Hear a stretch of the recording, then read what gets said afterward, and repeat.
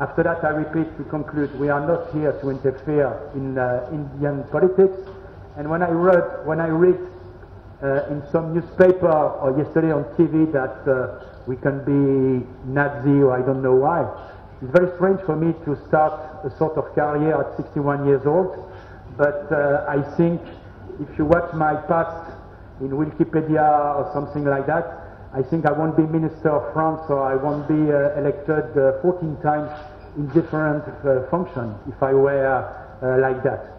And if I can give just an advice to some journalists, please, before to write something, read little bit the biography of people. Thanks for your attention. Variety from different corners of Europe. I'm a liberal um, member of the parliament from Europe. I want to say how much I regret, like my colleagues, the news of the killings last night, terrorist killings. That is a terrible thing, innocent lives taken, families destroyed, wage earners removed to support their families. It's a terrible thing and should never happen, and we cannot possibly support or approve that.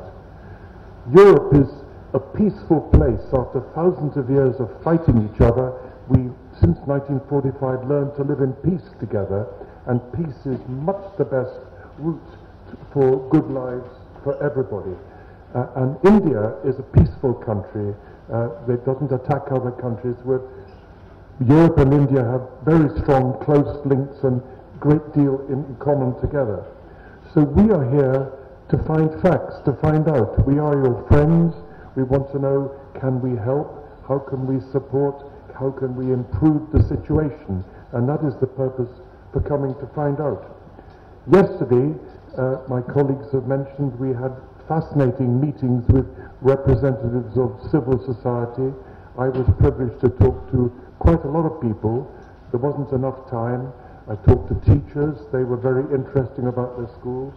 Uh, and one man told me um, that there was too much corruption in India and Kashmir. Too much when money comes from central government, it doesn't always reach the project or enough of it.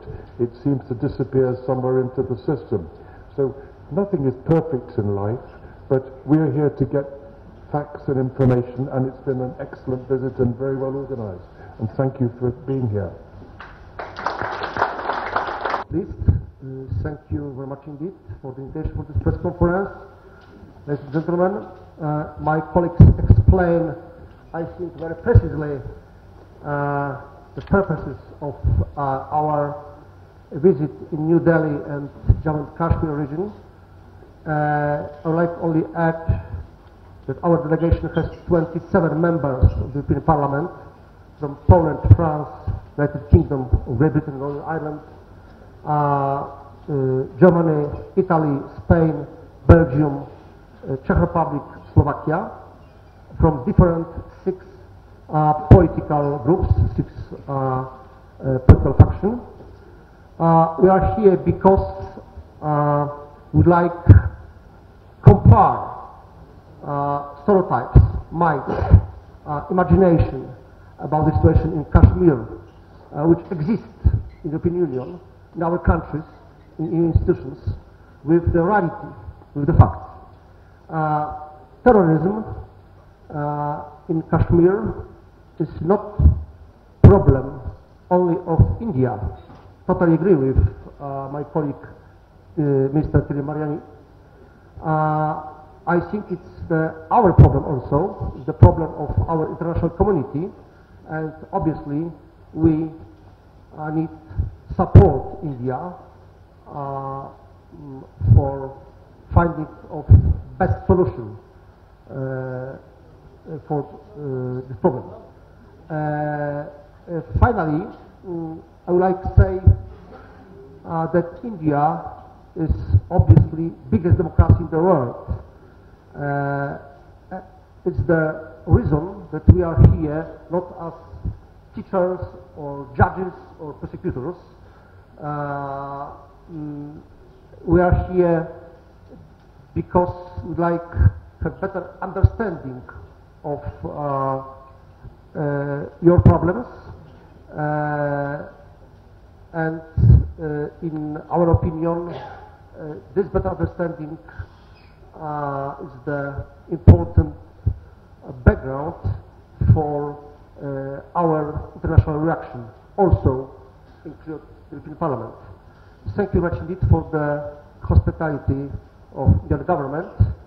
Uh, mm, I think uh, after our comeback to Europe, we can inform our colleagues in the European Parliament and uh, other European institutions about the real situation uh, in India and in uh, Kashmir. Thank you. Questions from the members of the media. I would request to be brief and uh, How would you respond to them? Because as you all told us about you all have had a long political career and you've reached a certain level and you've come here to gather your facts and that has been your purpose. So three parts of my question. Mr. Mariani? Yes, sir, please go ahead, sir.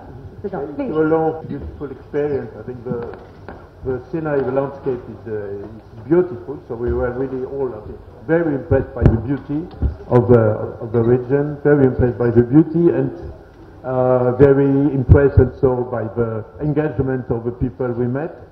Uh, I will let my the colleague answer for other points. I would just say for the for the last question.